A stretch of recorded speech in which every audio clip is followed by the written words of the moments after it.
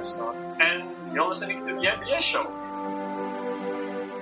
Hello and welcome to the MBS Show, episode number 58. I am your host, Norman Sanzo. Joining me today is Daniel Anthony.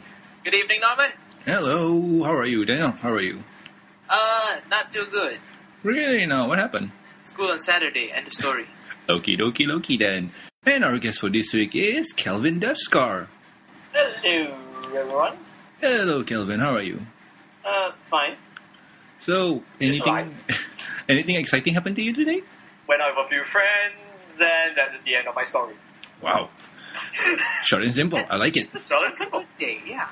So, before we start the show, we need to ask you the four important questions. And question number one is Who is your favorite pony? Rainbow Dash. Any reason why? When I first became a brony, it was actually tied between Pinkie Pie, Fluttershy, and Rainbow Dash. But as Rainbow Dash just grew on me, the way her personality works, it's just appealing to me. Because okay. I, because I've always liked these kind of um, competitive yet soft-hearted characters. That's how most of, um, like if the show had these kind of characters, that's usually my favorite. Any example of any other characters like that? I, I had one, but it just slipped on my mind. I don't even remember right now. Hold on. Uh, Okay, no, it's not coming back. Uh, I, I had one. It was from X-Men. Uh, Rogue? the very con... Hello? Yeah, is it Rogue? Um, no, it's Gambit. Oh, Gambit. The very um, confident, cocky kind. But at the same time, he's willing to sort of go out of his way to protect the X-Men. Like, he doesn't just leave them alone to die. He actually cares for them somewhat, especially Rogue. So but then which? again, that's because Gambit's a womanizer. Yeah, true indeed. But which X Men is this? Is it um, Evolution or uh, the nineties X Men? Um, I think both. I, I watched both, and Gambit was my favorite in both, just for his attitude. And in both in both series, his attitude was almost exactly the same. okay, true, So there's not much of a difference, I guess. So, it's, is it safe to say that Rainbow Dash took Gambit's place in your heart when you started watching ponies? I'm not sure if I would say that. I, guess, I guess they both occupy the same place in my heart as being the as being the um, competitive yet caring persona. All right, I Brothers, you heard it. Bring out the crossovers. I think there is a reason. why. Hold on. no, I'm just kidding. Uh, But chances are with the with the pony banger, there's almost confident there's going to be a Gambit pony. Hey, I was right. Oh boy. so anyway, moving on We to all the need a bit of Rainbow Dash in our life. true, true. So anyway, moving on to the next question. What is your favorite episode? Ah, that's like, oh, that's not fair. That's like Uh, asking, don't, don't worry, don't worry. We allow multiple choice. that's like asking which of my ch- which child is my favorite. Um, As I said, we Uh, allow multiple choice. I'm gonna have to go with um, what was that Daring Do episode? Uh, Read and Whip. yeah, Read It and Weep. I just love that episode. Was and, it? Um, yes, That it was was. Daring to not Mare-Do-Well. Yeah, Daring Do. Did I say Oh, Daring. Do or Meduel? Heard Mare-Do-Well. No, Huh. M- Mary Duel is the superhero Batman, and Daring Yeah. Do is the Indiana Jones crossover thing. Yeah, I love the Indiana Jones one. That that, that episode. That and uh, Feeling Pinkie Keen. Pinkie Keen was just. It was just. I couldn't stop laughing at how pinky it was, and it Yeah. was just so. It was just so good. The whole episode, and plus you get to see a giant Hydra chase colorful Equid, so you know that's always a plus. Mm, okay. I heard a lot of people say that they don't really like the episode because of the whole moral or the lesson. It's like, Dear Princess Celestia, we believe. That's about it. Yeah, um, yeah, I didn't really like the moral, but um, if I'm not wrong, Lauren Faust herself said that if she had the chance, she would rewrite that moral because she knows that it came out well. Yeah. Because, uh, yeah, I agree. Um, the first thing that came to my mind, and I, I am not going to tread on anything like touchy here, but the first thing Go that came to ahead. mind was religion. It was just like, uh, you just have to believe. I was like, religion? Whoa. Pinkie Sense is a religion. Yeah, I, I mean, where do I sign up? Yeah, But, I, I think it's more onto the fact where um, You just have to trust sometimes. You have to trust some, that something is just like that. yeah, You it- don't need to question it. Yeah. Questioning it will bring nothing for you. it's, it's true, it's true. Like how your friend picks a booster pack and always get that foil card. Always happens. Oh yeah, yeah. Always happens. Don't ask why. He uh, he even don't know how to answer it. Yeah, screw it. yeah. So anyway, Yeah. moving on to the third question. How did you become a brony? It was actually really weird. Like, um, I was browsing Funny Junk. Uh, I've been browsing Funny Junk for like I think since 2007 or 2006. Back when Funny Junk was like new, but I'm going to be like old man. Go ahead. Uh, back when Funny Junk was like green and you kids. Nah, I'm just kidding. but um, uh, I remember I saw so many pony posts and I was like, oh my god, guys liking ponies like, oh no, like there's no way that they're genuinely liking. They're probably liking for like a satirical reason. They're making fun of it, like you know a lot of other cartoons. And I was like, there's no way that these guys are genuinely liking ponies. So um, I actually didn't check it out for very long. I remember I saw when the Derpy clip came out. Oh my god, that that Derpy clip just it was so cute. Like, I couldn't stop watching it. Which one? Which one? Um, you know when Derpy was talking. That, Oh, okay. like, during the episode, as soon as that day came out, I saw the episode shoot up to the front page, and I was the first post I saw. I was like, okay, I'll give like this clip a shot, so I just gave it a watch. I loved it, but I didn't want to admit it. You know, I was completely down. I was like, no, this is not happening. I will not watch an episode of MLP because there's no way I'm gonna like it. Oh. And then um, I remember I went to YouTube and I saw an episode. I saw Turnabout Storm on my suggestion box, which um, for all of you that don't know, it's um, Phoenix Wright and My Little Pony crossover. And I love Phoenix Wright. One of my favorite games. So I I went to check it out and I was pleasantly surprised at how well the characters are and how interesting it was. So I said, okay, I'm gonna give it one episode, like the first episode a shot, and I'm probably not gonna like it. I watched it and I finished season one and most of season two in like a day and a half. Yeah, it always flies like that. And I was like, oh crap, what have I gotten myself into? So, so you joined the fandom pretty late. I joined it when the most recent episode, like uh, I joined it on the Saturday that Dragon Quest was released, the 21st episode. Wow. Oh, So you joined the fandom pretty late then. I joined it in the late, I think I joined it in 20th March 2012. Yeah. of last year, right? Yeah, yeah, yeah. Oh, pretty late because um, most of the guests we have either joined during the start of season two or mid, Yeah. you know, or late of season one. But Around the, um, around the July to September 2011 period, right? There was around there. Or the January 2012 period. Yeah, I joined really late, and I was like, wow, season two is gonna end. I, oh, what happened? yeah. and funny enough, you you're kind of prominent on the Twitterverse. Ah, I tweet stupid stuff. I don't. I wouldn't say prominent because I kind of only have 239. I just try to talk to people that seem genuinely nice, and I just want to get to know them better. So I just send them some tweets their way, and just. And a lot of people on Twitter are so funny with their tweets. A lot of girlies. I just. they're always posting um, such funny stuff, and it just makes it just makes my day to see like a chain of people replying to each other, just replying with um, out of this world stupid and fun stuff. It's so cool. Uh, We'll, we'll talk more about that in the interview section. So moving on to my last question is, how do your family and friends think about your love for the show? Well, they sort of question it at first, but they just let it be. They don't insult me or um, make fun of me. They just let me do my thing, and I don't really um, rub in their face that I'm a brony. So. Okay, cool, cool. So you keep it balanced and just say, "Yeah, I watched the show. Now leave me alone. I'm watching the show." Uh, sort of like if they ask, yeah, I'll just say, uh, yeah, I watch MLP and I'll just leave it at that unless they ask further. If they don't ask, I kind of just don't say anything. Well, be prepared because we're gonna ask you now. oh crap, I got, I'm not ready for this. No one asked me before. Oh yes, yes, once. I'm still not ready. We can ask you on Twitter and read your responses, but that will be a little boring. True. Yeah, I don't, yeah, I don't think I can uh, do the interview in 140 words. That'd Oh yeah. pretty- I'd be pretty good if I could do that.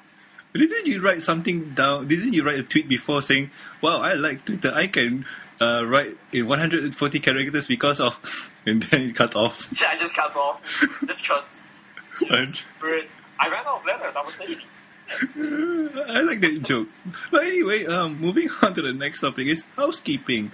And in housekeeping, well, last week we interviewed Anneli He, the voice, uh, the Swedish voice actress for Swedish, Spitfire. yeah, Swedish Spitfire and Swedish Tigress from Oh, okay. Kung Fu Panda 2. And you can listen to the interview in the link below. So, guys, do please listen to it because I sang in it, and if you like hearing me sing live off the cuff, um, do go. Uh, anyway, moving on to the next topic is news time. And in today's news time, Meghan McCarthy answers question about season 4 on Twitter. Season 4 has been announced and it will premiere in the winter of 2013. Many fans have their concerns about the upcoming episodes. In a recent Twitter post, Meghan McCarthy has addressed some questions and concerns that the fans have while not revealing or spoiling anything for season 4. All of the questions and answers will be posted in the show notes. So I'll take a few snippets of some interesting questions. Question um, like this one. A lot of bronies are upset about Alicorn Twilight without giving anything away. Do you think season 4 will keep everyone happy? No comment. Her answer was yes. And another good one here is Will we ever see Rarity as the central character again? She stole every scene slash episode that she was in this season. And her answer was yes. Well, there was a few good ones and a few silly ones. Like, um, give me, let me see. Okay, how many Alicorns should we be expecting? Her answer was fifty-three. So, So that's gonna be the series finale. Every pony becomes an alicorn. Yay! Oh, I have a theory on that one, but never mind. So links can be found in the show notes. So guys, um, have you guys read Meghan's answers to some of the questions? yeah, yeah, we have. I have. I've read, I read all of them. Well, yeah, I read all of them. I had to be careful that they're not backdated to April 1st, otherwise I would be messed No, up. no, no. Uh, I I I double check everything, and they're not back Yeah, to. I, I know you did, but you know, for me, when I was reading off the Twitter feed, I had to look at okay, this is not an April 1st statement where Andrea Libman is off the show and Emily Larson's voicing every pony. oh yeah, man, that, that's the best. Like I even like the story plot about Rarity fighting a giant crab. Oh, I know that joke, but that's one old. That goes way back to E E3 2007, doesn't it? Or 2006. And the next news topic is Story of the Blank animation teaser. So, eh, have anybody here heard about the Flash game Story of the Blanks? Uh, yep. And I played it, but that was quite long ago. True, true. It was the generation one of Brony fan projects back in the days. So anyway, they're making a animation for it, or they- they're making a short film or movie, or however, however you want to call it. A group going by the name of Longtail on YouTube released the trailer a few days ago, and links will be provided in the show notes. So Kelvin, you explained uh, off the air just now about uh, how the story of the blank thing worked. Mind explaining it again to us? Uh, Story of the Blank is, is a 8-bit flash game that's available online. It's a, more of like an interactive story than anything, and it's just simply Apple Bloom going to a village and finding that all the ponies in the village have blank flanks. And then, you know, there's story continues and all that. Uh, but I won't spoil anything. True, true. I've seen uh, gameplay of it and LPs of it, and it's pretty interesting. I'll explain it in this sentence. It's like Silent Hill, very scary and very unknown. I played I neither. very scary. It's, it's, it's I, I don't know. To me, it's not that scary. Yeah, if if I, I think you need to be immersed into the world, get into character. Uh, but to me, it's kind of scary and ugh. and when you get caught. ugh. Yep. So do check it out, and let's hope this animation is awesome because I I can feel that this is going to be scary if they do it right. Well, nice. It will be it will be interesting to see how horror pony is gonna come out. I mean, they're horror fanfics, but horror animation that sounds interesting. True, true. I mean, we we had a few like we had set fix where you got Snowdrop, you got crossover fix that's double rainbow. Now you got um, horror with uh, story of the blank. So it, it covers all the gambit. Yeah, it does. Yay! Let's move on to the next topic. And in the next topic is guest time. Our guest for this week is Kelvin Deathscar. Having fun yet, Kelvin? Yeah, it's uh, having quite a bit of fun. Sorry for the derpness because nah, it's okay. Yeah, I am derpy. I'm kind of having a sore throat. My brain is not in the right place. But hey, I'll, I'll do anything for the show. Almost anything. So anyway, um, Kelvin, mind introducing yourself to the people who might not know who you are and what you do? Well, um, my name's Calvin. Uh, so yeah, um, you might know me on FIM as Deathscar, or you might know me on Twitter as at um, Normandy Jayden. Uh, and what I do is I write coding fanfiction. Oh, that's interesting. Um, not only that, you're also a Twitter brony, right? Uh, yes. A very prominent one at that too. I wouldn't say prominent. Oh, I just I just tweet um, my rather confused and stupid thoughts. oh, that may be true, but if you know the big people, your name keeps popping up, and that's cool. Uh, I just kind of talk to them quite a bit. Just because they're really awesome people. So funny, so easy going. They're just, they're just really cool people. Yeah, I, I agree. I agree. Most of the people that I and you follow are awesome, like Osaka Yeah. Jack, Black Griffin, Ellie Monty. Yeah, most, yeah, and most if I were to list down all the people I follow on Twitter, this show will just be a Twitter podcast. True that, true that. So anyway, you say you write fanfics, right? So how did you get into writing? Um, I've actually been writing like a few originals like since 2009. I just kind of just had this tree idea in my head, so I decided to try to turn it into a story. Um, and during my holidays, I wrote um, one chapter a day continuously for like a month. But in the end, it, the, the quality was utter crap, and the storyline didn't make half sense. But that was how I got into writing. So when I joined the Pony fandom, I realized that there was a website dedicated solely to um, fanfiction for My Little Pony. And one thing I don't like about fanfiction.net is that fanfiction.net is so wide with so many games, animes, cartoons that you can't really find good criticisms of people reading your story, if, especially if you're writing for a source that's not that popular. So I decided to give it a shot and I started writing out some stories off the top of my head. And I got criticism. I improved as a writer and I'm really thankful for that. Awesome, awesome. Because I, I I'm looking through here and you written like uh, let me see one, two, three. There's a lot. There's a lot. I, I, I, 13, if I think. no, there's, there's a lot. If I if I were to count them, I'll be looking like a jerk for not knowing Nah. the top, knowing um knowing it off the top of my head. Mm. It's okay. I wrote a total of 15 stories. Fifteen Okay. stories. Yep. And, and one of your latest one is about Black Griffin. Oh yeah, memoirs of a Griffin. oh, it was just so fun to write that actually. It was really, really very fun to write, to write that. you you know what you should do? Write about a shipping fic between Griffin and Ellie Monty. I think Griffin will kick my ass. no, I think he'd like it. I, I think he will like it. I might, but that all depends on whether he allow me, whether he allow me to um, Do uh, it? do that. Because I wouldn't want to do it, and you know, writing shipping is a little touchy, especially when you're dealing with real life people. Oh, uh, is uh, have you seen uh, some of their tweets? They- They're really, so funny. yeah. Oh, Oh, you you can just run with that. But anyway, so when when writing, um, how do you what what inspires you to write?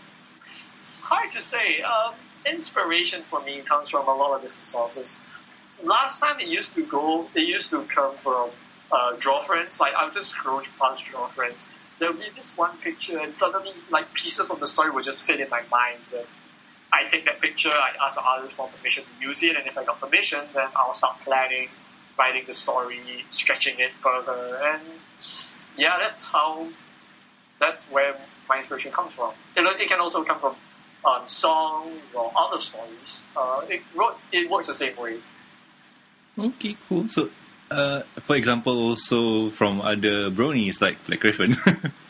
Oh yeah, because he showed me. I was on his stream and he told me like he had this Griffin OC, but um, he actually made a pony one, and he he was deciding on the cutie mark whether to put it as a Griffin or a musical note, and he was debating. So he said that I told him that if he puts it as a Griffin, um, I can just uh, write a fanfic about um, the reasoning behind it, and uh, and it just came to me because the idea just came to me. Pieces, plot points, all of it just started to fit. And even though he changed his, he chose the cutie mark to be the musical note, I still wrote it for him because it's such a free and expanding idea that I really wanted to run with it. Okay, cool. So you say that um, some of your ideas come from uh, draw friends or Yeah. other things that you see. So and, and with an interesting one here with uh, memories of a griffin, you say that you yeah. you see you see the picture and you can see plot points, you can see this, you can see that. So how does that work? Like I, I, wish I knew because um, it hasn't been happening for me recently. That's why my writing has um, kind of slowed down. But when it happens, I have no way to control it. It was it would just be that one picture that has this setting, and suddenly my mind would just go, "Hey, here's an idea. Oh, here's how this idea would turn out. Oh, here's another plot point, another plot point, another plot point, or another plot point. Okay, go go right." And I do. It just comes and goes. I have no control over it, so I just hope that more of it comes soon. True, true. I, I've been meaning to read some of your stuff, man. Like, Aw. there, there, there's this one, the warmth in our hearts. It's, I think, Yeah. uh, Hearth's Warming Eve Sorry. Oh yeah, I, I wrote that for Hearth's Warming Eve for Christmas, and I um, put up I put it up on Christmas. It's a very innocent thing. No no action, no um, no action, no shipping, nothing. Just six friends, slice of life, flat. Um, that's what it is, and that's what I want to keep it as. Very true to the theme of MLP as I could, as the best that I could do. Okay, true. I mean, sometimes the, the simple stories in life are the best. Like, uh, I, I want to read something heartwarming and um, something simple and making me smile. And wow, Yeah. thi- this looks good. I, I should read, but my my pick list is really too much. Like, it, when I have this free time, oh, I'll, I'll try reading this, and suddenly my Gmail pops up say, this story has an update. This story has an update. Ah, Oh yeah. Oh, and okay, gotta read that one. Priority first. oh yeah. Fine. Yeah. but I, I'll I'll I'll put it in my read read later list.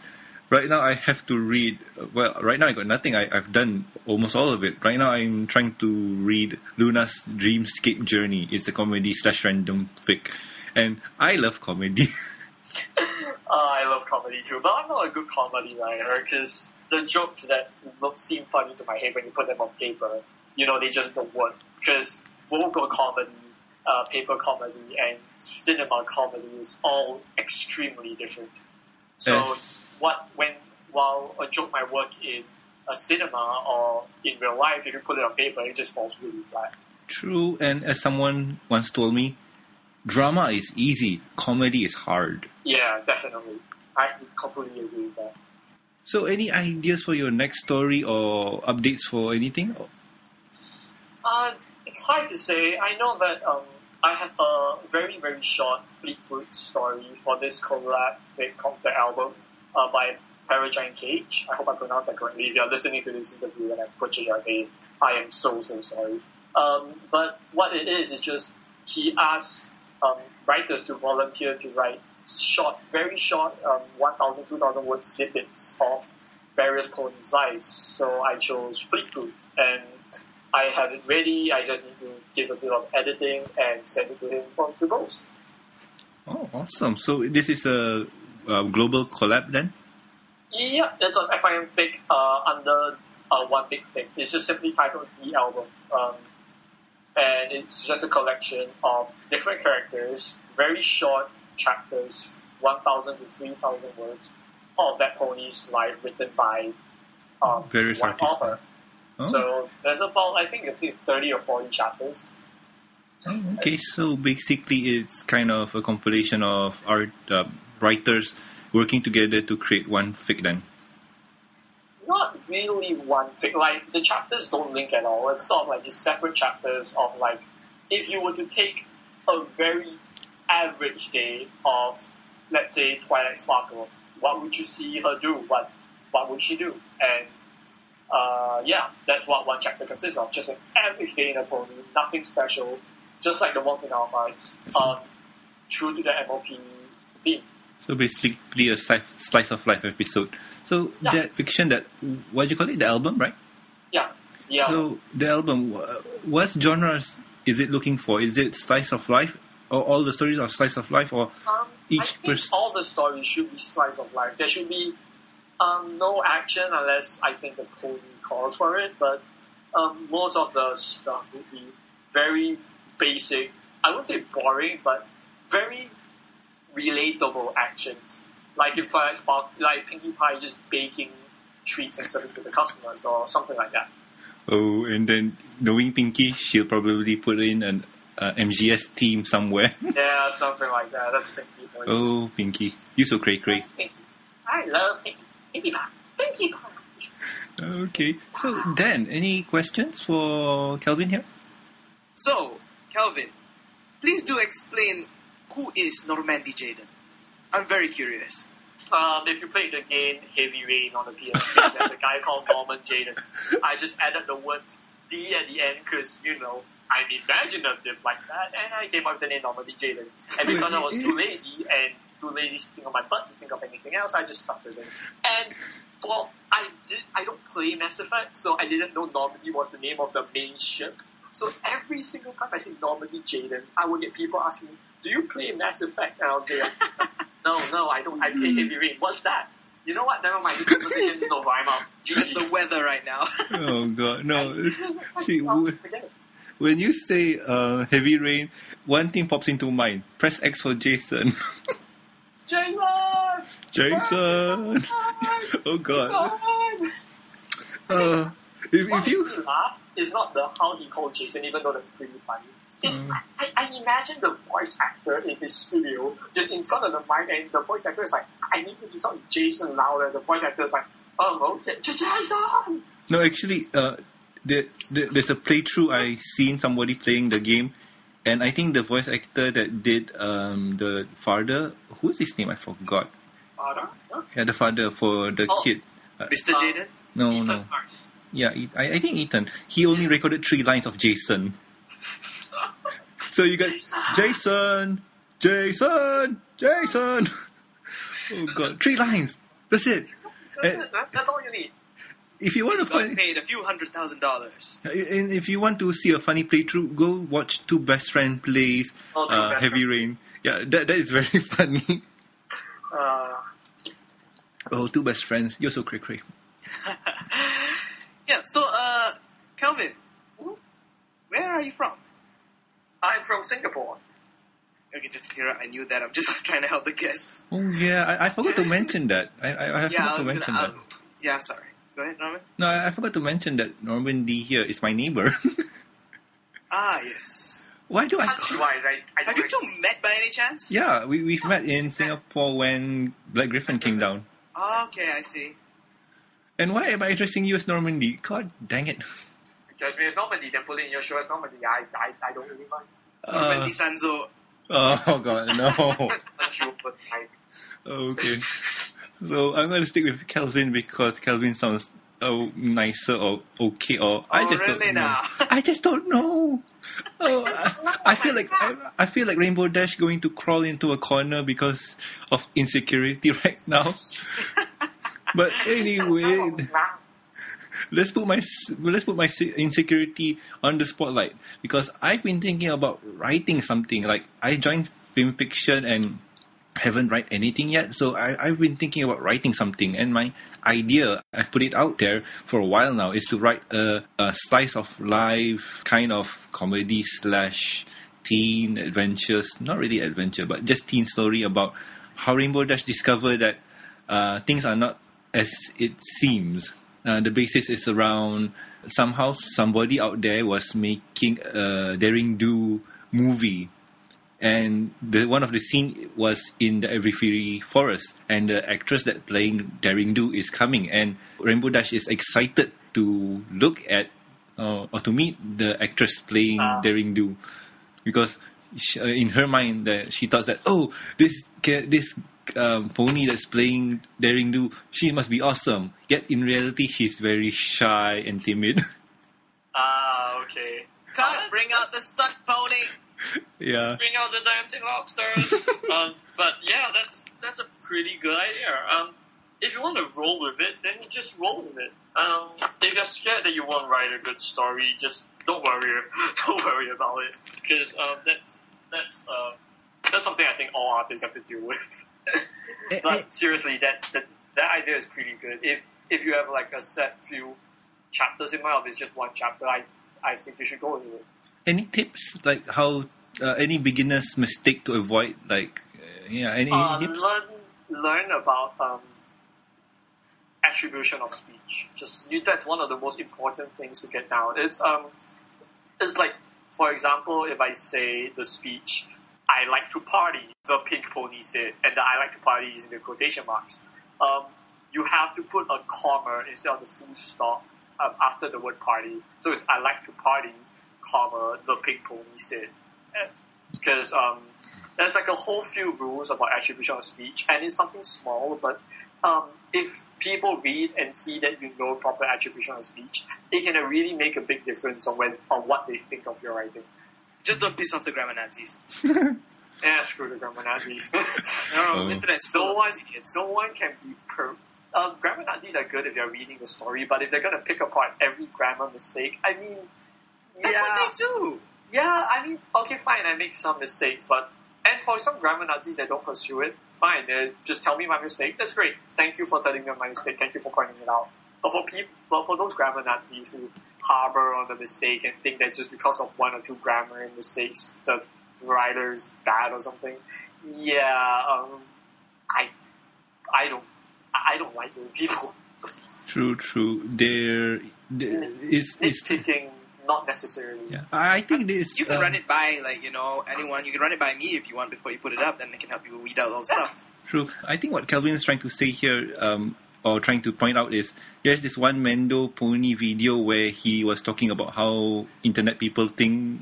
Remember that one, where how to uh, accept criticism or how to avoid trolls and stuff. And one of those comments like say, "Oh yeah, your your song is." Uh, I thought your song was awful, but this one was pretty good. Uh, that kind of thing. Yeah, um, if, if someone doesn't give you constructive criticisms, uh, there's a really, really fine line between criticisms and insults. You can take criticisms, but insults you should try to not accept. I mean, the, if you're going to push stuff on the internet, let's face it, insults, trolls are all going to come, haters are going to come just because you posted something on the internet. It's so easy to succumb and tell yourself that you're a bad artist or a bad writer or a bad musician or whatever just because one person says it.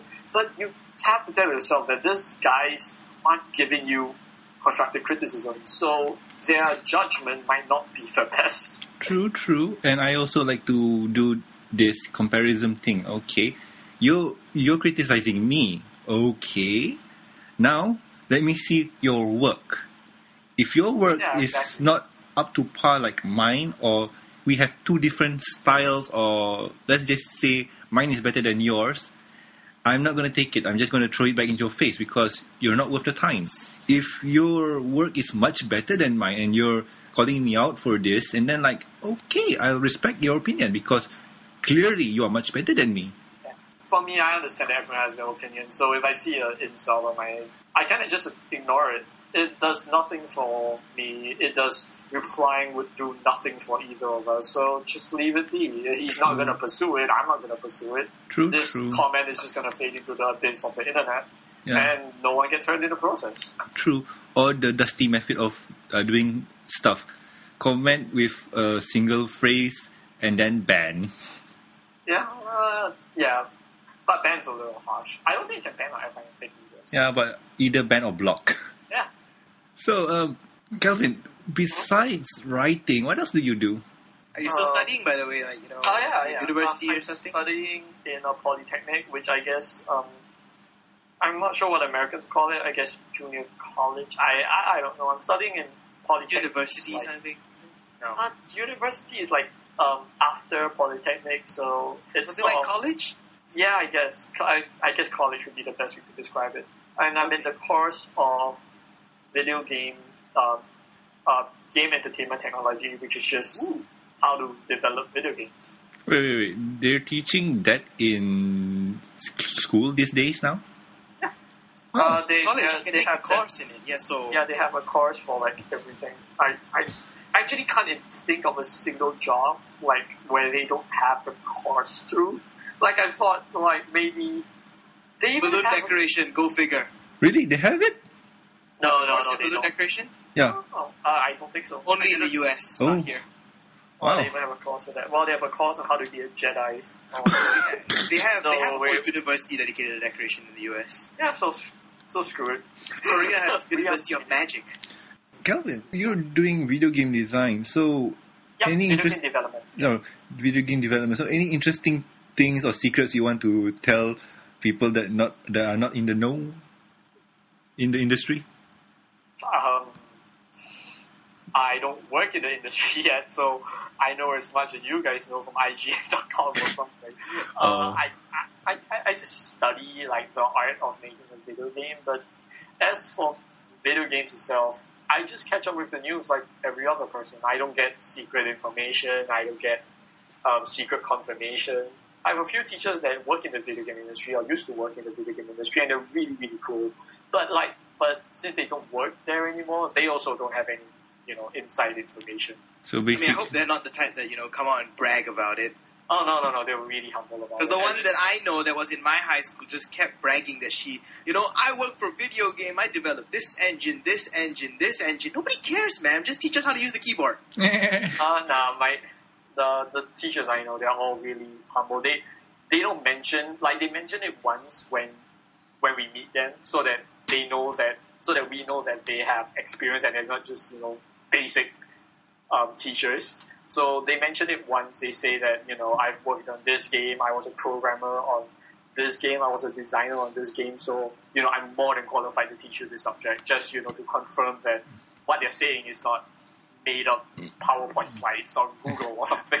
So yeah, but other than that, they don't really mention it unless you ask them. But they have a lot of really cool stories about video game development in the real industry and how really tough it is, and you gotta brace yourself for it. Uh, yes, I can none, I- none that I can think of at the moment, but uh, it'll come. Anything you got no, left? Yep, yep. There's one. So you recently joined the fandom in May, March. Um, uh, March of last year. Yeah, March of two- 2012, and you have been really prominent in the Twitterverse as a Twitter brony. How how did you start out? Like any tips for uh, newcomers to the Twitterverse to handle themselves? I don't know what to say. As in, for me, I just follow people that I thought were interesting, were nice, and I just started to reply a few of their tweets.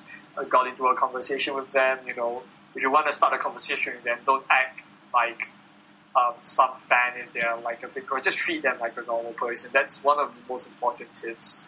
Um, they're just another guy. Talk to them like you would to any other guy or girl, and they're really nice. They're they're really welcoming, and I think that's one of the great things about talking to bronies. They are really warm. Most of them are really warm. Oh, okay, cool. And the, the the other thing is that uh, I noticed that you talk to a lot of uh, voice actors and actresses, and some of them respond to you. Like uh, a good example is Lee Tockar. Lee, uh, Lee, if I'm not wrong, Lee responds to most, if not all, of his replies. So, uh, but Lee's a, I, uh, Lee's a really cool guy. He's, um, he's such a ambitious guy, and he's really, really, really amazing to just converse with. he's so funny. I know. I get the feeling, and I I feel that um, he is awesome in that uh, he's kind of oh you you have that awesome friend, and he's that guy. Yeah. He is an awesome dude. It's like running through his blood kind of deal. awesome is part of my DNA. Exactly. So um, here's here's the thing. Um, if I'm not mistaken, you're part of Fanbuild, right? No, not officially. I mean, there's a FanBuild Skype call, like, where fans of FanBuild can go on, talk to other people who are interested in fan-build. I am part of that, but as for officially involved in fan-build, no, I'm not. Um, I'm just interested in the idea of fan-build, and if I can get a writing, I wouldn't say job, but a writing role in any of the animations, I'd be more than happy to, or even pitch my own um, pitch my own animation idea or something. I'm just interested in the idea. Uh, I'm not officially involved in fandom in any way. Ah, okay, because You're a fan of fandom. Yeah, I'm a fan of, I'm, I'm a fan build fan of fandom. wow, so meta, so meta. so fandom within fandom and a fan of that fandom. no, no. See, fan, fan is something different because fan build is I need to get to know fanbuild. I don't really know what it's about. um, basically, from what I understand, it's a compilation of. Uh, sorry, uh, it's a group of people where they work together to create um, a short film or a project or whatever it is. Yeah, it's sort of like imagine this website where you can go to and you can either pitch an animation idea or you can join other people who are looking for animators, writers, voice actors, etc. Is it restricted to MLP? No, No, no, no, no. Oh, it's okay. not at all related to MLP in any way. Um, it's sort of like an online animation studio where you can gather and start a project with a bunch of other people. And you can post your episodes online, and then, um, you know, uh, if it's popular enough, then um, you can put it. Then it gives you a reason to put it on a on your resume if you're trying to get a job in the animation industry. At least that's what I'm. That, that's what uh, I'm sure FanBuild does. Yeah. And if Um, I understand right, sorry, uh, if I understand right, uh, if your uh, project is really good and does not infringe on any um, copyright The laws, Original idea. Yeah. yeah, uh, they'll try to put it up on Hook you up, network yeah. TV, Okay. Yeah. Um, that's Lee Tockar's plan. Yeah. Uh, and you'll Oh, get paid. me in. You you you even get paid. Uh, yeah. Yeah, I'm graduating next year. I need a I need a job, so Uh, maybe, maybe maybe I don't know. FanBuild hasn't officially launched yet. It started a soft launch, but the hard launch is still on its way. I mean, if you can earn money right now from doing fan projects, and uh, I know, if wish. If I pay my if I pay attention in class and stop, you know, sleeping at two in the morning, I might be able to do something. Oh, on this show, probably not. So anyway, um, uh, I'm I'm done with my set of questions. What about you, Dan? yeah, um, Calvin, do you happen to have an OC? Uh, yes. His name is um, Sparkplug. Sparkplug. And, uh, Spark plug. So, yeah, sounds like he's, a car uh, junkie. yeah, he's sort of he's he, he's an inventor, sort of. You got a picture? Uh, yeah, if you go to my FIM Fiction account, uh, Deathscar, you, uh, my profile pic is um. Uh, let, yeah, that's how it goes. Yeah, I, I I see him now. He is a very, is it orange or brown? Uh, brown. I just like random color until I found one that wasn't absolutely repulsive. Like how Osaka Jack made his um, OC, I kind of did it the same way. I random until I found a color that wasn't absolutely repulsive. Uh, then I just changed like a bit of the main color until I found something I liked. Change the, the style and all that until hey, OC. yeah, and the two pliers or spanas. oh yeah, those are the um, two monkey, two wrenches and as his two mark in an exclamation. Signifies his inventive personality Oh, and his inventive talent. wow, that's so cool. Uh, for me, I I just created something really simple. Oh, I wanted to have this character, an Earth pony, really bland, and I'll just import the hair from my previous fandom. Okay, insert it there, and hmm, colors. Um, I, I want to look normal, no, nothing so fancy with any colors. Just brown, brown and brown. Yay, Oh, simple. you're the polar opposite of me. I went all out. I had to have like the greatest damn OC alive. Uh, no, see, that's the mistake. Uh, that's mistake number one. There's no, there's no such thing as the greatest Nemosi alive unless you're That Lauren Faust. in my universe. No. So yeah, she's the princess of my universe in that sense. Oh, if you say so. Lauren Faust has the best OC, man. Seriously, Oh yeah, I mean in the world, yeah. her OC is the best. That's not OC, that's freaking canon. Yeah, technically OC. Uh, Hasbro did not acknowledge her existence, so it's an OC. So that was Calvin Deathscar. And thank you for answering our questions, uh, Calvin. It, it was fun talking to you about um, video games, stories, Twitter. What else did we touch? Life. life. What's the meaning of life? I don't know. Bacon. 42. Bacon's the meaning of life. 42. 42 is the meaning of life. Let's ask Google. oh, that's not. So anyway, thank you once again, uh, No Calvin, for answering our questions. I, I hope you're not too annoying. no, no. if not, you're not annoying at all. It was Um, really fun. Okay, so let's try something uh, something new. Um, I asked on Facebook about what should we talk about as topic time, and I got a few answers. And here's something interesting that I think that might interest you guys. A user called. Give me a second. Let me copy pasta because I am very bad at pronouncing names. Could somebody help me with this name? It's in Skype. Kuzairi, I think. It's Malay name. Kazari. Oh. Oh, wait, I, wait, I know that person, right? Wait, I'm not following them. I, I think I asked on I asked on ABH. So Well, it, it looks Malay, so just pronounce it as you will Yeah. the Malay name. I got no idea. So Kuzairi. So he Sorry. asked how MLP would affect Japan and such, or how Japan would affect MLP.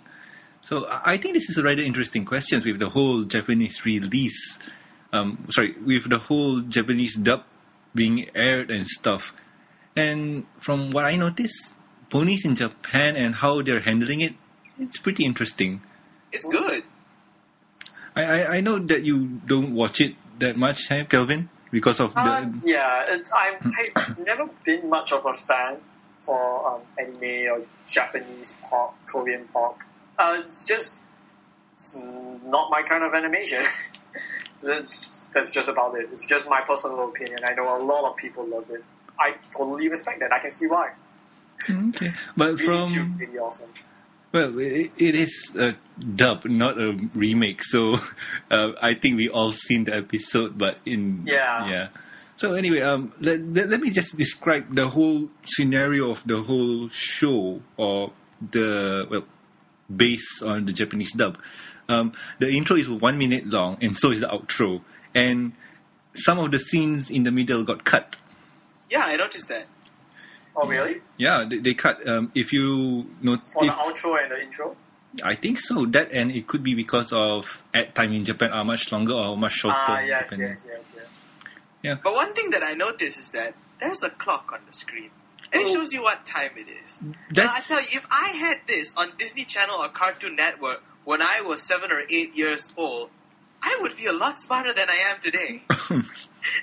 telling the time. I don't know. That's standard Japanese um, uh, TV. They they show clocks at the side to tell the time. I, I'm not sure how to describe it. I, I'm not pure. I, I I'm I'm not into the Japanese scene that much. But anyway, there's a few scenes that cut. Uh, for example, is the scene when Twilight arrives in Ponyville, and when she got off the chariot, she said thank you to the guard. But in the Japanese dub, they cut it off. Ain't nobody got time for that. Ain't nobody got time for that. Y'all need cheese. No, I'm just kidding. Y'all need chicken. Mm, mm, mm, uh. chicken. Okay, uh, yeah, yeah. This show's going to hell. Oh yeah. But But basically, let's just rewind a little bit and go to the intro. Now, dear Princess Celestia, I learned one thing from this. Japanese anime intros have nothing to do with the show. actually they could have Mirai Start translates to a love song. I'm like, what? Mirai start. Uh, I don't know. That's the name of the theme song, and it's like, okay, it's cute. It's got that high, high, high in it, and it's like, okay, fine, it's nice, it's cute. Then wait, what does this song mean? And it's like, I'm going to meet you today, and something like that. I'm like, okay, okay, okay, okay, fine, fine, fine. This is not a love story. This is not Johnny Bravo Pony Edition. Uh, Why are they playing a love song? I think you're interpreting it the wrong way because do remember Japanese have more than one word could mean a lot of things. I, I read the translation, so I guess you know Yeah. one person's translation being translated and having that kind of context could be- really be wrong. could be that person's. Um, I don't understand Japanese. Yeah, me too. But um, for the song, uh, interestingly enough, it's sung by the Japanese dub Pinkie Pie, Mimori Suzuko. Ooh. Yeah. And funny enough, she voices a lot of other characters in some other animes that people might or might not watch, like uh, uh, Milky Holmes, Detective Something, I don't remember, and also Oh, Cardfight Vanguard. Yeah. And then, you know, thanks to all the Valentine's Day crap, I know what Aishiteru sounds like, and I can hear it in that song. So, basically, yeah, I think they're going in that direction because I don't think Aishiteru means something else in Pony. Yeah, but say I love something. I don't know. You you know sometimes some people got some other things to say. I don't know. It's just a song. Don't take it too seriously. No, no, it's not that. It's just that I look at it and I'm like, why? I thought, you know, because the Italian version has that nice rock song, you know, Go and Fly, My Little Pony. Mm-hmm. And uh, the rest all have nice translations, and suddenly Japan comes in. Or What's going on? No, you see, the the, the, the other thing is, um, you have to understand about Japan is when they create an intro opening for any show, anime, or anything like that, they're trying to sell you stuff in general because What do you mean by that? Okay. Certain artists in Japan like to insert their song into an anime, especially for Naruto, Bleach, Cardfight Vanguard, even Pokemon, or even Oh. other other animes out there. And um, especially for Naruto, when they use a theme song, it- sometimes in Naruto, it doesn't relate anything at all with the whole show. It's just a song to be embedded there. It's just a song, and Oh, they're selling the song. Do you know the principle of if I hear this fifty-two times, I'm gonna like it. Oh yeah, you know, same thing happens with a lot of viral music. Yeah, so it's basically they're trying to do that. Like insert song here in uh, the intro for an anime, and make it play every week. Oh, And alright. people or fans of the show will automatically purchase the song or album. Usually in Japan, what they do is they release singles with uh, the song that you want, another song that's not related to, at all with the anime that you're watching, and the instrumental for both songs. Ooh, sneaky, sneaky. And it's just a mini disc.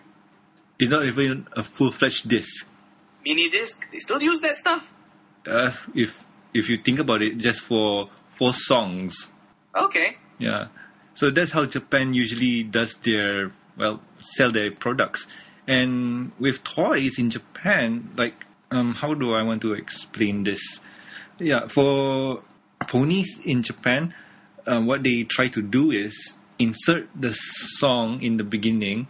Uh, that's Mimori's album or single, her first single. She inserted there, and in the end, there's this kind of Aki. I'm sorry. Um, The credit song is different, right? yeah, it's AK-42's clone something. I don't know HK. AK-42 as a clone. Oh, I, I I got no idea. It, it's a it's a manufactured Japanese pop band thing, like what the Koreans are doing now. The Japanese are copying. So, but basically, what they do is they insert an end song there and hope that somebody. Uh, it's just just it's just copy what I said from the beginning and put it here in the back. I see what you mean. Yeah. Yeah, it's the same thing. Um, that's how Japan um, sells their swags. And Alright. Also, the other thing is the company that's dubbing the show is Bushiroad, Yeah. and Bushiroad here is another interesting uh, group. Yeah, they dropped in their little blurb right after the start. That's standard because they're trying to tell the audience that this show is sponsored by. Uh, if a company name is I mean, you don't see Hasbro and THX doing that. Why in Japan? Is it common to find this in anime? it's common because um, it says who sponsored the show. If a show gets mentioned, or no, if a company gets mentioned, uh, or top billing, as they say, they spend a lot of money. And in this case, Bushiroad spent a lot of cash to bring in Pony and dub it. Okay. I think it's paying off. It's gonna pay off anyway. I don't know. I, I've heard some Japanese pony fans that watch the dub series talk about it, and they say, "Why did this scene got cut? Why did that scene got cut?" I've seen some of my friends who watch the show in Jap- Japanese. They're like, the voices. This I don't know how they arrive at this conclusion, but they say the voices of the ponies in Japanese kind of suit the ponies better than the English scenes. I don't know. why. I kind of not agree.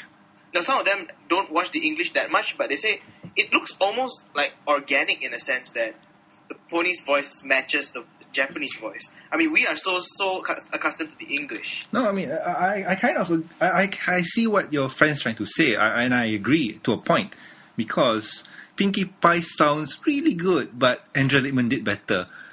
Fluttershy's voice is really shy, and it's up to par. Twilight Sparkle is really awesome also. Rainbow Dash is awesome. Rarity for me, they dropped the ball, because Rarity is, like, she has that um frou frou-ness. I would say frou frou. Um, help me here, guys, because her tone in her voice. What would you call it? Formal, Formal. Stuck up. expensive. Yeah, all, all those kind of things that you would think of. Um, her. Or- I am not whining. yeah, that that kind of tone. And the Japanese, they didn't do that. Yeah. For me, I think you- they want it to be a light-hearted show, you know, not too many serious ponies in it. I would like to hear, you know, a bit more Princess Celestia. I don't think I've heard her voice just yet. I haven't watched the second part of Yeah, the first do, do, episode. do watch the second part. And uh, Celestia's voice in Japanese also works. And uh, I think Osaka Jack would appreciate this because Applejack didn't use any Kansai accent for her speech. So that's awesome. Uh, what do you mean Kansai accent? accent? In most animes or Japanese shows, uh, to represent somebody from the south, or in their case, um, hillbilly, something like that, they go for Kansai accent. It's like somebody saying, um, "How do I, I? I- don't know how to speak Japanese, but this going so, um, something something yeah." I, Oh, okay. But I could hear they were trying to aim for very Japanese-ish. Not, not to say Japanese, trying to aim for Southern, but was speaking Japanese. Like, yeah, Like, huh? Wait, what?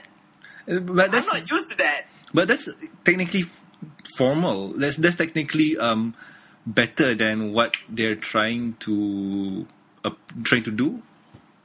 Because Okay. in some, I'm not very sure what they are trying to do, to be honest. yeah, I, I mean, it's Because as far as I'm concerned, you can't take South people seriously. uh, well, I, I don't know how to respond to that. but moving on, there's there's a few scenes in part two. Do you guys remember the scene where Pinkie Pie found the elements of harmony? I haven't watched part two. Oh, come on, you don't, you haven't watched part two at all. Not the Japanese one. Yeah, you remember the scene where she found the uh, elements of harmony? Uh, the, in the English one, yeah, of course. Yeah, The book, right? yeah, and Found it, I found it. and it then was underneath. they cut that part out. Oh, oh. I, I kind of understand why they cut it out because Why so? the joke didn't work. Okay. Because how would a Japanese say that it was under E while Yeah. yeah so True, very true. yeah so Totally agree. some jokes they have to cut it out and this this is going to be really interesting when they come You're to Asian. You read. You should know all this. I I don't know Japanese. no, I'm Japanese man. saying that could be a joke. You know, it's a book. It's a library. You're Asian. You spend your whole day reading. So, but anyway, I, I, this is going to be an interesting thing. When they come to the last roundup, are they going to cut Derpy out? Or they're just going to leave it in? I think I they might just leave it in because Derpy, did, Derpy didn't really tell a joke. Yeah, but I, it, no, I think they cut it out because without the fan following, as in, not that Derpy can exist by herself, but Derpy by herself, um, in the Japanese way, I'm not sure if they know what's wrong with Derpy because if they're just taking the original episodes and just you know dubbing over them, I think they might just leave Derpy in. But if they know about the controversy that Derpy is causing, um, they might just take it out because you know the voices are very touchy and all that. You don't Ah, yes. something wrong. but they could just leave it in and use the remastered version from iTunes. No, yeah, but they could. They could. No, but they need their own. But that doesn't change anything. The only change in the remastered version was the lines that Rainbow Dash said to Derpy. And even and even then, they still have to have a Japanese Derpy voice. So I'm thinking that if they don't mind having a Japanese Derpy voice, go you know go nuts. But um, if you know they know what's happening, Hasbro is you know a bit cautious about ja- having a Japanese Derpy voice because uh, the American Derpy got such um, flame, then they might just cut it out. But I think the Japanese people know how to behave themselves a little more, so maybe. Uh, I, I think I- for this, com- I I think for the whole situation right now is a they could just leave it be as what we seen in the, the original stream or the original debut of Derpy, or they could just use the iTunes version where Derpy eyes was corrected and her eyes, um, sorry, her eyes were corrected and her voice changed. But since Yeah. this is a dub, um, I think they're gonna pay close attention to her voice, and the eyes are just gonna be normal. yeah, true. Um, I. I think even you know that little derpy, uh, for the lack of a better word, uh, slow character in. It's quite common in anime shows, isn't it? Yeah. that one little Uh, more ditzy, airheaded person. Yeah, Yeah. ditzy, airheaded, clumsy fella. I think it's more common there, so it's probably more socially accepted. It might just happen in Japan because they know how to behave themselves. I I don't know. It, now it's all speculation, but honestly, thinking like they could just use the um, remastered version and just go with their voice.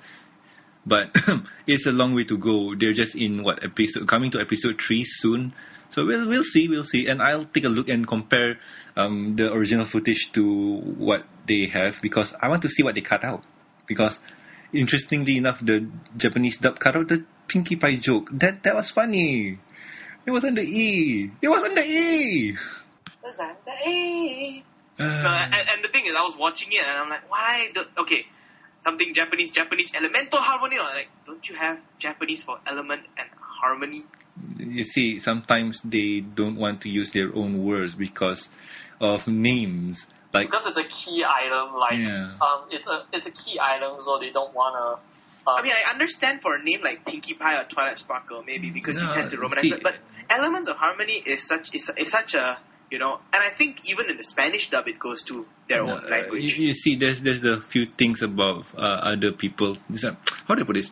Like what Calvin was saying, uh, it's a key item, it's a key thing, or help me out here, Calvin. Is a key item. Would you? Um, it's, it's, it's, a, it's a very important item in the universe. So using using the the literal words of elements of harmony gives it that sense of importance that you know if you just translate it straight to Japanese, you know you um, they want to make it sound more important, and I think they kind of also want to um, uh, how I put this uh, make sure that um, the people the the people watching can how I put this like identify with the item.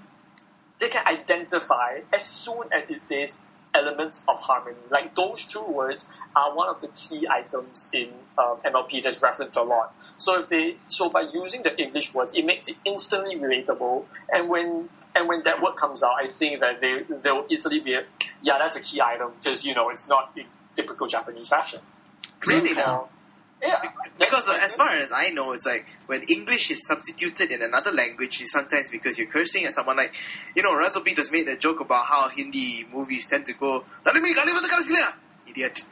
You know, English tends to be that word that they use- they they, they just call, they just look for a word to insult other people and they can't find a word in their own language, so they use a common curse word that's always found in English. But then here's the thing: uh, you're you're you're turning from uh, Indian to English. Now I it's mean, even English. here, we, we No, I mean, I don't know about you guys, but we curse each other in Cantonese all day long. No, but so- see, the thing is, w- the conversation here is now is English to Japanese.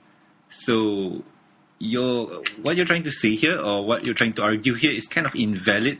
Why the Japanese don't use their own words? No, I'm not trying to argue it. I'm just wondering why. I'm still, I'm still trying to understand the whole concept of bringing in and not translating. It's like if you don't translate it, suddenly it's English. It's like I don't understand why it has to be done that way because it's not like Japanese all have watched the English one before and No, they know. I, I kind of agree with what Calvin here said because, like, when when somebody when a character says element of harmony, um, the the viewers or the Japanese audience will click. Oh, that's an important item because they say it in English. They didn't translate it, so I mean, they must didn't be. do it in the English version, so it's still an important item. You know, in, What- in the whole deal of uh, My Little Pony, it's not like they are the then they suddenly come up with a Latin word for it. No, it's not see, like they did no, that in the English one. No, no, you, you're getting it all confused because what you're trying to say here is Why does the Japanese show need more emphasis in particular in that sense? no because some. Uh, yeah, if you if you, um, in animes that uh, we won't know why, but that's kind of how it goes. Like if um if you see Dragon Ball Z when they shout Spirit Bomb, they don't shout Japanese words for Spirit Bomb. They literally go Spirit Bomb. At least that's why. I, at least that's- Also, it happens in almost all animes. It's when Almost, something like almost. the superpower, like you're shouting out the move and it has the English click, like it wouldn't sound as good in Japanese. So that's the Oh, English okay. click. Yeah, It's sort of like yeah. it's sort of like hyper superpower laser beam that is like uh there's this this really cool English name like um Planet Destroyer or Planet Cracker or something. You translate that to Japanese, can you imagine how weird? Or maybe there's something clashing with it, but when you just go up, Planet Cracker, it has the impact that um, is missing if you translate it to Japanese. True, true. And th- there's a few things also that you want to make it sound cool because let's just say a fighting game. Let's put example the King of Fighters. Um, one of the character called Terry Bogard. One of his power is Power Geyser, and they don't translate it to Japanese. Like they just say Power Geyser, and that's about it. Because if you translate to into Japanese, it will sound all weird. But then we'll think about it and we'll try and yeah, it's somehow the cool factor. How how cool does it sound?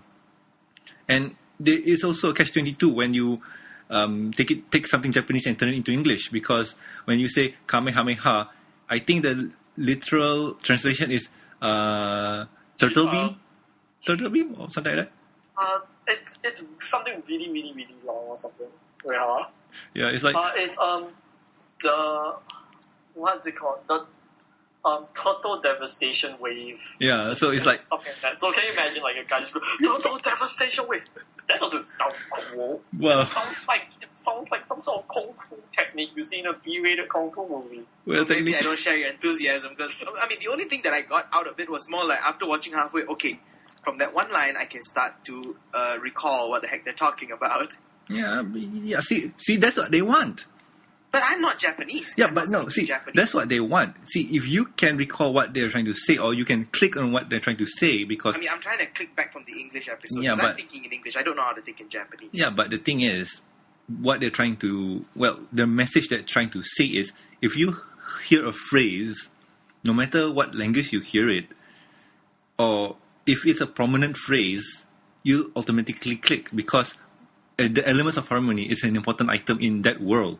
It wasn't really the elements of harmony that clicked. It was more of the names of the ponies. Where I, oh, okay, they're talking about Yeah, Pinkie. but oh, no, they're talking about Luna. They're talking about this. They're talking about that. Oh, okay. Yeah, that's the same concept because Yeah. um, you're you're clicking with stuff that is out of context. Like suddenly, you know, there is a Japanese name for like Pinkie Pie. It could have been very Twilight Sparkle. But the reason that they said it to English, it's so that you instantly relate that this is something key. This is something that is important to the show that is recurring. So if if you put it all in Japanese, then nothing really stands out. They make But that's in English. Everything is in English in the English show, and it doesn't happen there. No, see, that that you're, you're trying to argue two different states of No, no, no, no. I'm trying to understand why the Japanese you people do this because the English show doesn't do it. no, bas- No, because it started out as an English show. As in, if how do I put this? If okay, if a Japanese anime were to be translated to English, the word Kamehameha will still remain as Kamehameha in English because Okay. it's the original version of the Japanese already solidified the word Kamehameha True. as Alright. the key phrase. um, as the key phrase, the character was shout out when um, when he I, when he casts the spell, which allows the American audience to identify or even because it already ch- it was originally changed from the Japanese version to the English. Yeah. But if you for the English version, now this is the opposite. Imagine that MLP is to um, Amer- is to Japan what Dragon Ball Z is to America. It's the same thing. They're switching the words for elements of harmonies relating to Kamehameha. They have no reason to change it into a full Japanese words because it's something signature, it's something relatable, it's something that you can identify with.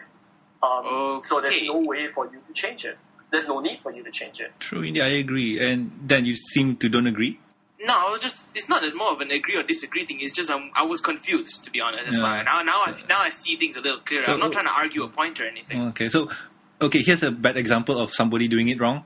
Um, you guys know the show Initial D, right? Nope. Yes. I, I know it, but I don't watch it. Yeah, but I only okay. know about the Taufu song. Eh, Tofu song.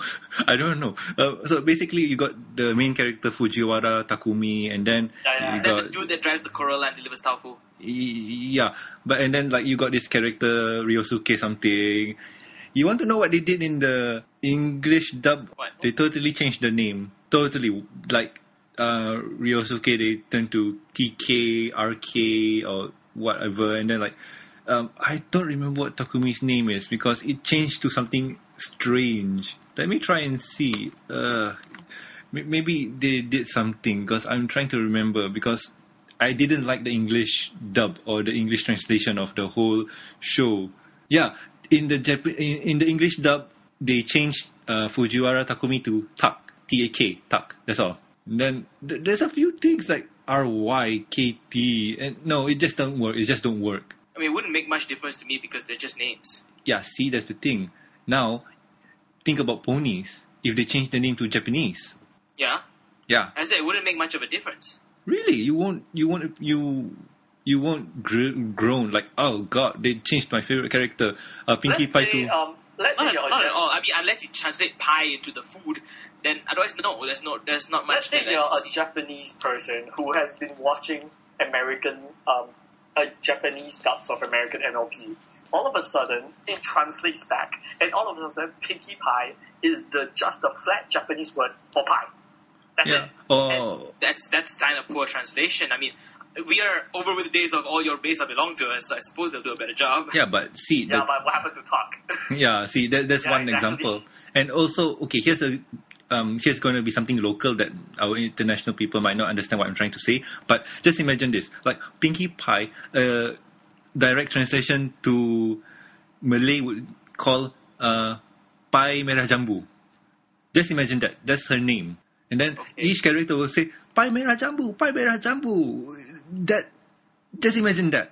And then like that running through your head every time, every time. You knowing her real name, but the Malay dub calls her that. And then that carries over to the younger generation who are watching it. And they call her Pai Merah Jambu. And like, oh my god. Or even worse, or Awan Pelangi. That's Rainbow Dash. No, uh, Dash Dash is Awan Pe- uh, Pelangi Pecut. That's the Okay. direct translation. Just imagine that bouncing in your head all the time. Oh my god, that's going to be so bad. And But it works for Chinese because when we talked See- to Draco a few episodes ago, I know. it's like it worked. But you have to un- translation. The names are translated very well, and True. some of them are actually literal translations Yeah, but- because ponies don't take on names like like Littlest Pet Shop. They don't have names like Zoe No. Trent or anything no, but is see, the, the, the thing is, um, it's based on culture. Also, you were saying that Italian uses some kind of uh, phrase that they have. See, each culture or each um, country or each language have their own way of doing stuff. Um, the Japanese they tend to use English. They tend to borrow English words, and the Chinese sometimes Oh. they don't have an English word or they don't see.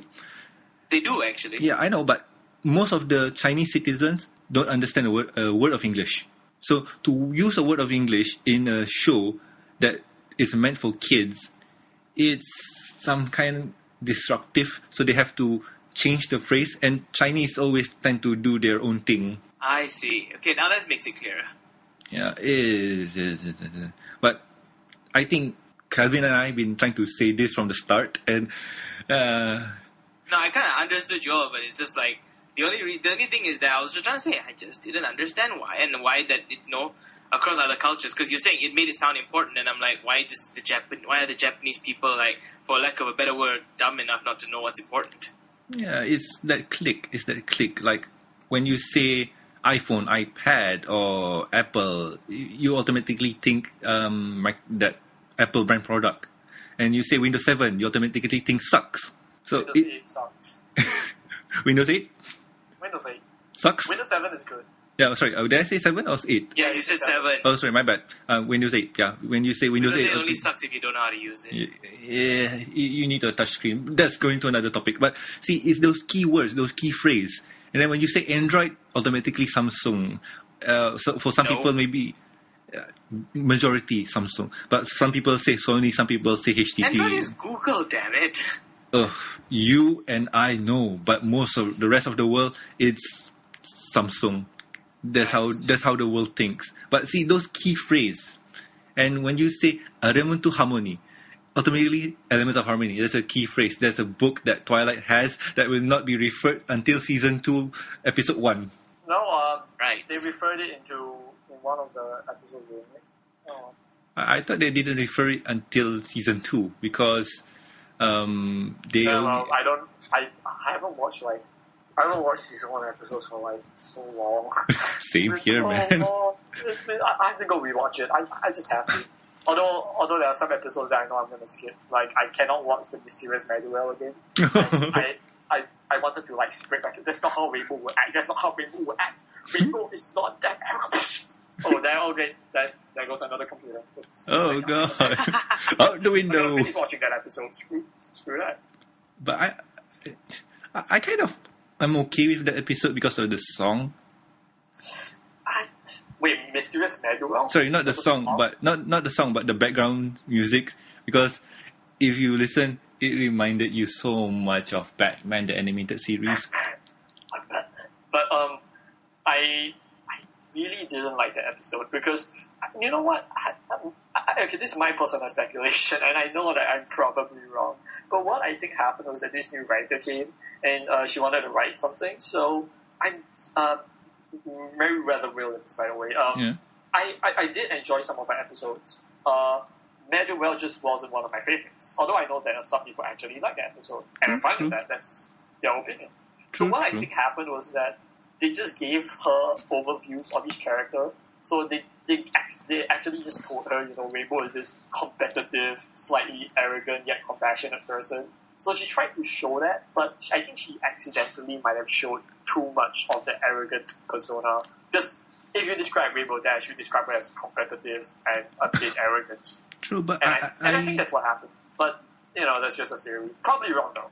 No, I, I don't disagree because um, I remember um, you know this one YouTube guy called Data Brony. I thought, did you know Ah, yeah, sorry, Digi Yeah, Yeah? he did a really good analysis of the few episodes that um, well, rather. yeah, Mer- Merriwether did like the mysterious Mare-Do-Well is one of them, and he said that Rainbow Dash is one of the only character that had a noticeable character development cycle because in season one she was confident yet she was scared of um, failing and had stage fright in Sonic Rainboom. And moving on to season two, she was overconfident. She was Ah. too overconfident. And if you notice how the cycle went, like she saved that kid's life. Was it saving the kid's life at first? Oh, yeah, yeah, yeah. Uh, stopping the carriage, yeah. Yeah, and then like, um, it, you see, uh, it slowly increases her ego. It slowly like uh, put her ego way up high, over nine thousand kind of deal, where she's like, "I'm so awesome that nothing can, uh, nothing can hurt me." Um, her friends could have teach her a lesson uh, in a nicer way, but with Rainbow Dash, you need to up the ante, some kind, I- kind of deal. I didn't really like the episode because it was a lot of build up for a very dis- for a very predictable Ending. and disappointing uh, payoff. It Yeah. was sort of, it was sort of, it's a tried and true written formula. Um, and I don't have a problem with that. MLP writers do um, very predictable stories, but they do it well. They do it, um, and they do it with a unique twist. This felt like you could take the premise of the episode and fit it with like almost every other cartoon that even has a slightly arrogant character, and it would just it would turn out the same. It would there wouldn't be much of a change, which is just like as as, as a personal um, bug to me. So True, that's true. why I didn't really like the episode, and I felt that it overplayed Rainbow's character a bit too much. I understand that you want to show that she's arrogant, but I don't think that Rainbow would be the type to take her arrogance into actually being angry that um how do I put this? She wouldn't take her arrogance that far. She wouldn't take her arrogance to almost demand for so much attention. Yeah. She is she is attention craving, but I think that was just overplayed just like a, a bit too much in my opinion. Yeah, I, can agree. I, I, for what you're trying to say and what the try, the show's trying to do, yeah, I can I can understand both sides. And here's an interesting fact: moving on to season three, another Rainbow Dash episode is the Wonderbolts Academy. And in this episode, if you notice, Merriwether Williams write it. And in this episode, Rainbow Dash is true and loyal, and she shows that um, I want to be great, but I don't want to o- out overshine other people. Like Yeah. yeah, give them their time also. And the character, her partner, who was it?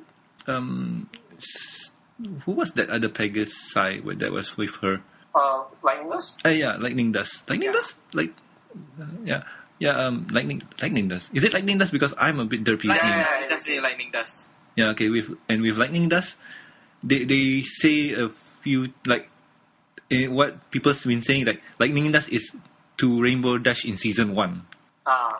Yeah, and like Rainbow Dash is um, matured in her attitude. She knows how to control herself. She knows. Yeah, I, I, I like the Wonderbolts Academy so I thought it was a very good episode to show the contrast between how much Rainbow character has grown and how Rainbow is, uh, like, she has learned from the lessons that she's written to the princess. And how I think it was just a big play over Rainbow's previous personality versus Rainbow's current personality that she does in fact learn and nurture and evolve, grow better with the friendship lessons she's learned with the main six. That's true indeed. It's it, it's a very good juxtaposition of um, old Rainbow Dash versus um, how Rainbow Dash is really like, or what people would call the new Rainbow Dash. Yeah, and see, that's, that's the thing I like about ponies because um, they tend to keep with continuity. That that Yeah, is what yeah, I enjoy. definitely. Though, um, I truth be told, I, I I'm not gonna insult Fluttershy fans here, but Fluttershy seems to have the least development in my opinion. Yeah, true. I Her, I, her personality, she got braver, but that's one aspect that Fluttershy improved on, and I'm not sure what else she. I mean, I ha- I actually haven't seen that much of improvement in her character, other than that she's braver. After the Dragon Shy, she definitely appeared a lot more steadfast and willing to most of the time stand up for herself. True. I mean, um, being the Yeah. Fluttershy fan here, uh, I I see some scenes where she she evolves. Yet, eh, let's say let's just say that Fluttershy is really shy and she kind of hard to. Uh, she's she's a slow bloomer in that sense of development. There's Ah. a few scenes where you can see that she really stands out, like um, putting your no putting your hoof down, putting your hoof down. That's one, and Yeah.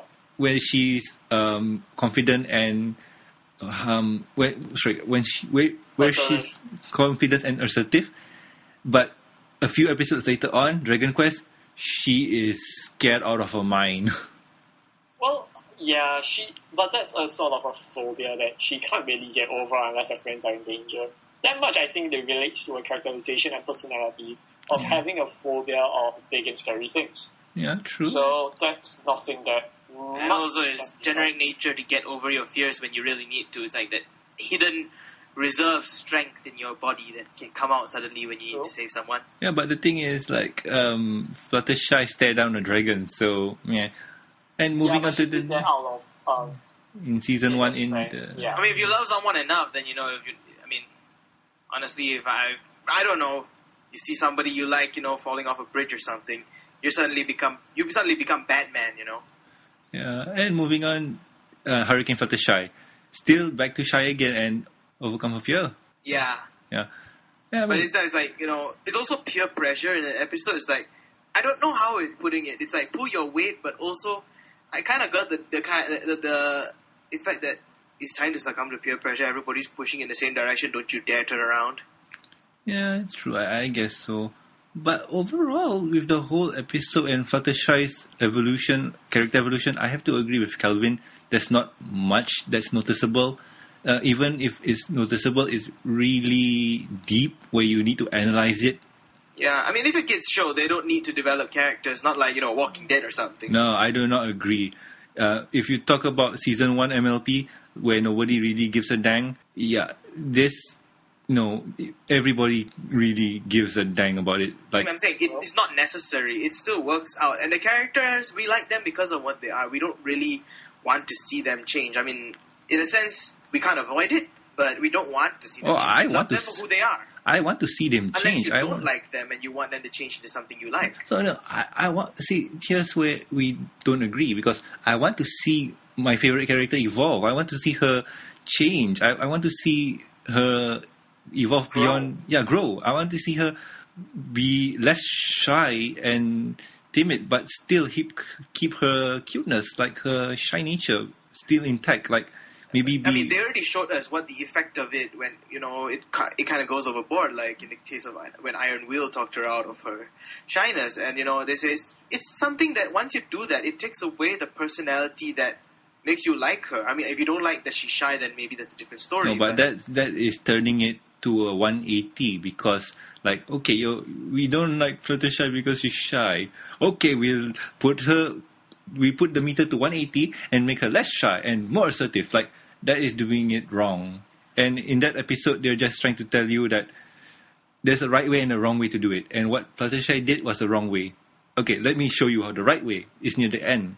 Um, one of my favorites was um, uh, at the end of pulling your hoof down. she shows that she has learned to be assertive without being uh, uh, A big meanie.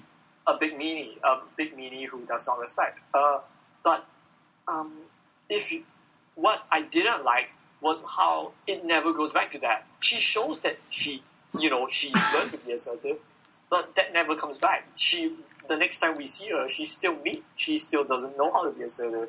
So I think the character development, the continuity was lost there, which what I think was a really missed opportunity. For which part now? We, we, Um, what, because um, what episode was it again you were saying? Um, I'm talking about putting her hoof down. You know, at the end, she's talking about Uh-huh. Angel. She gives a stare. She's like, okay, I, I know how to be assertive without being a big mean.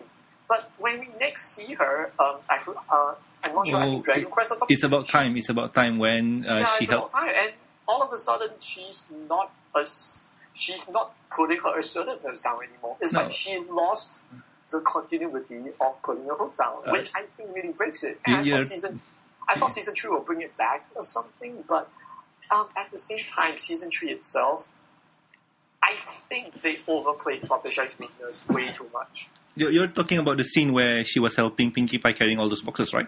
I'm talking about most of season three. I didn't. No, no, sorry. Um, the, you're talking about the scene where it's about time where Pinkie Pie was asking Fluttershy to help her carry boxes, right? While she was carrying balloons or floating around balloons.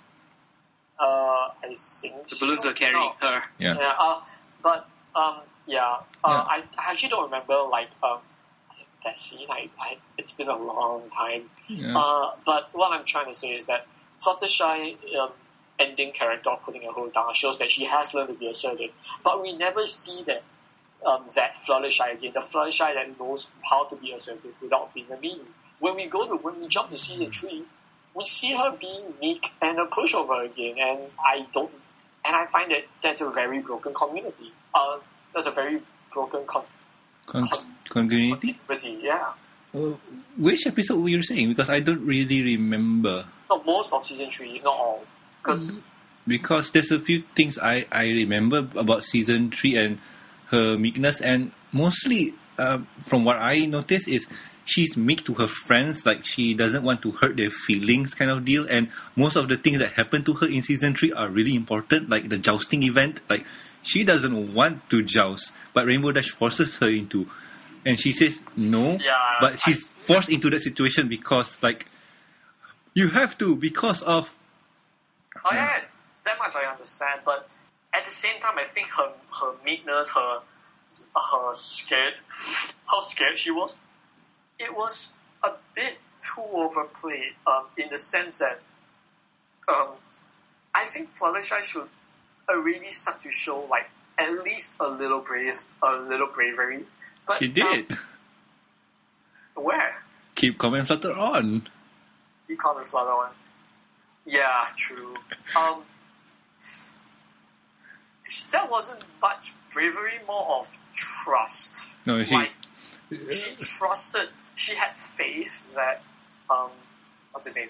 Discord is good inside. Um, was she actually scared of him?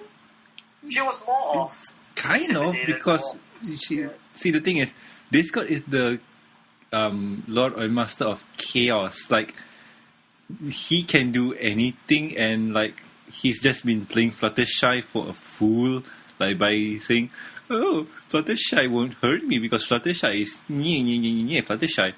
I I don't know. They're just trying to make Fluttershy kind of. Uh, she, I like it when I see Fluttershy grow into someone who knows what's going on. She's not just meek. She's not gullible. She actually knows um, how it's going on. Um, that's what I liked about um, Keep Calm and Flutter On. Though the episode itself, yeah, that's could, another story. could could have handled it better. the whole concept and the characterization of Fluttershy and Keep Calm and Flutter On was good. She knew that she was that Discord was thinking that she was playing her. She knew that Discord thought that he was in control. She, but she still trusted Discord all the way to the end. But at the same time, uh, I find that her personality is not that stable. It's sort of jumping around when it doesn't really need to. True, true. But I, I think right now like, with I, I feel like the writers themselves, um, not to downplay the writers, the writers are absolutely amazing, but I feel that for Fluttershy, their coordination for her characterization is a bit off. Because some take her meekness way too far. Some take her bravery, well, I wouldn't say far, but some take her as being braver and smarter than most ponies give her credit for, which is um, Keep Calm and Flutter On. True, so I true. think that there's this wide disparity between Fluttershy's character, which makes her, which shows her in a light that it's a bit off. Like her characterization isn't solid ground, um, not yet anyway. So Yeah. I feel like the writers um, uh, should try and solidify Fluttershy's character as being brave at a specific time, yet being meek at a specific time, and showing those um, uh, those things, her personality with situations. But um, I find that uh, if you ask the writers to write how Fluttershy will react to the same situation, but give it to different writers, I have a feeling that they would each write Fluttershy differently. Their Fluttershy's reaction differently. Some write her as running away from the situation, some write her as standing up for the situation. True, true. You know, I, sort I, of this tooth-toned Fluttershy. I, I, I agree, and I, I think the best way to deal with it right now is just to wait for season Yeah, four. definitely. Or- I, I really hope season four shows that Fluttershy's character is something solid and not something that's a little wobbly. You know, I have this theory that I want to happen in season four, and this theory is Fluttershy parents are Wonderbolts. Oh damn! um, that that I want to see because that was played with with um, a few fics. I mean, it's a great idea, but the the, the touchy part would be the execution uh, but relating to Rainbow's character. uh, Rainbow's character would be the very key factor in the episode. I wouldn't say that would be a Fluttershy episode. That would be a Rainbow Dash episode. Yeah, true. And you know what, Meghan McCarthy, M.A. Larson, work on it. I think they have. I, nah, I'm just kidding. Yeah. But um, we are told that we would see more of um, the Mane Six parents and the interactions in season four. So Yeah, we'll well, see. just, just, just hope and wait. Just hope and wait. And also, um, there's the comic, the the micro comics with the main characters and Oh, stuff. I, like, I can't get my hands on that, I can't read them online. I, I, I don't know what's going on. Okay, uh, a good tip for you is if you have a smart device, iPhone, Android, whatever it is, uh, install Comixology, and you can buy it from there. Ah, I can't use a credit card. Aw. Don't you get the books there? Huh? Don't you get the books in Singapore? Uh, yeah, but they kind of stopped importing it. Apparently, even though it was, uh, they're only importing the IDW ones. The micro series are very barren. Oh, they, they are IDWs, but oh well.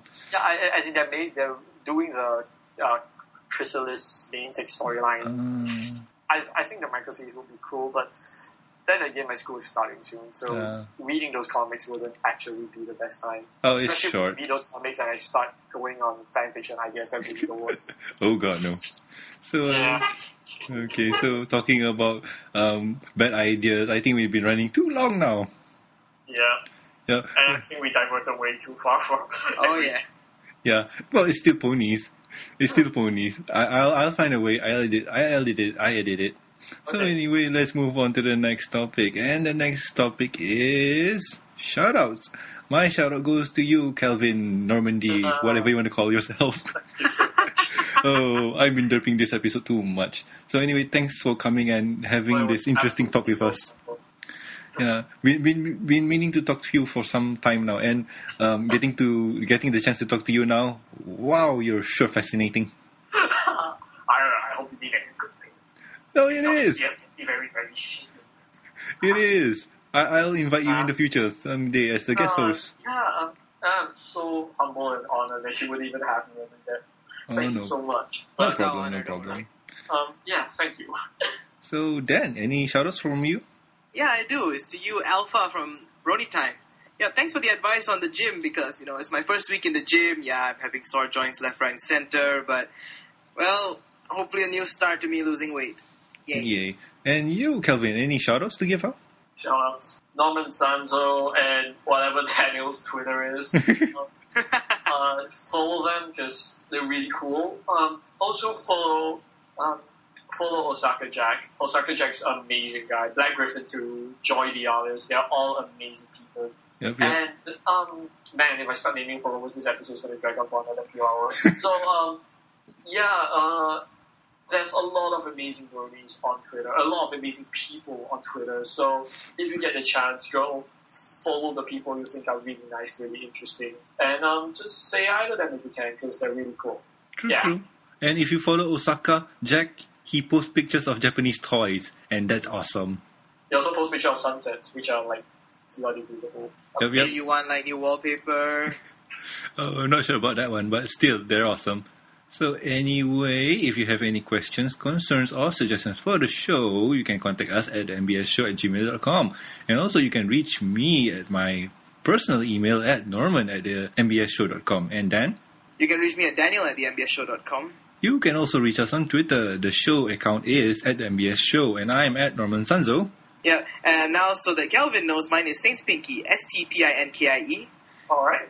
And Kel, uh, do you have a Twitter? Because we know you do have one. No, So he doesn't have Uh, one. He's from no, Rainbow Dash I Network don't. because it's so mainstream, right?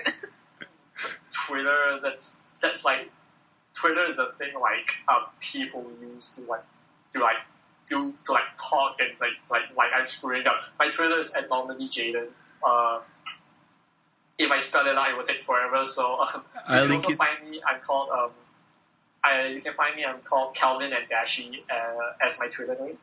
So yeah, uh, follow me if you want to. I tweet a lot of stupid stuff. And yeah, just talk to me. I promise I won't bite that much. you can find the correct spelling in the show notes. Don't yeah, worry. we'll, Oh, we'll okay. put it in show notes. And also, please subscribe and rate us on iTunes, and also like our Facebook page, please. And well, that's about it. So I've been Norman Sanzo I've been Daniel Anthony. and Kelvin. I've been nom, I've been Kelvin Sia, even I'm calling myself Norman. Crap. I'm Kelvin Sia, and I'm also known as Deathscar. So, yeah, thanks for listening all this way. You get a air bro for listening all this way if have.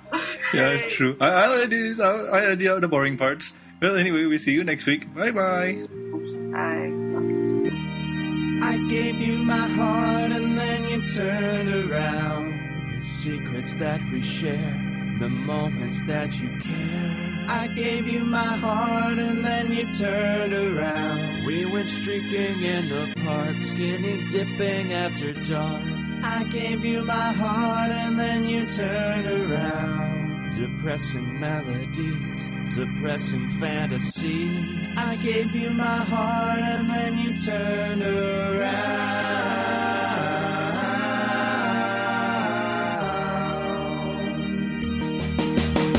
I always wanted my own brother, and then he showed up at our door.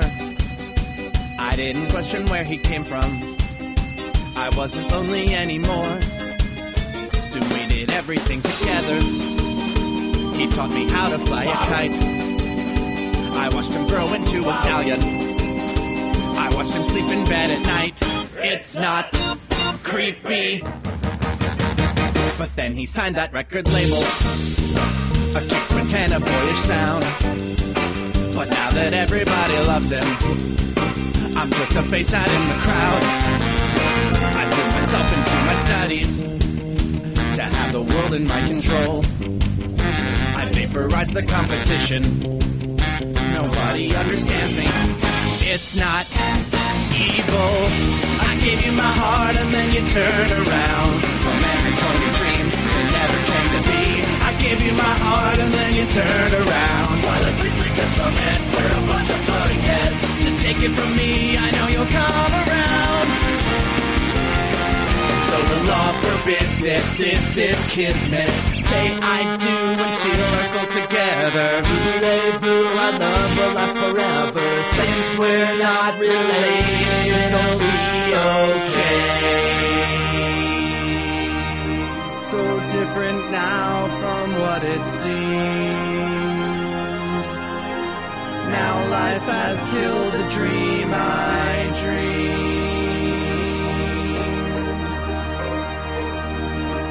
I, I think what Norman is. I think what Kelvin's trying to say is. Stop laughing at me. you have a confusing guess. Okay. Uh,